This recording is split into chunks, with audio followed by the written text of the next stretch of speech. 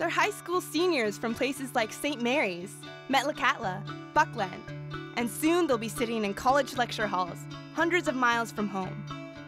ANSEP Summer Bridge eases the transition. For several months, students work internships at major Alaska businesses and agencies, live together, and take calculus classes for credit. Real world experiences that jumpstart their future. The Alaska Native Science and Engineering Program, inspiring future scientists and engineers.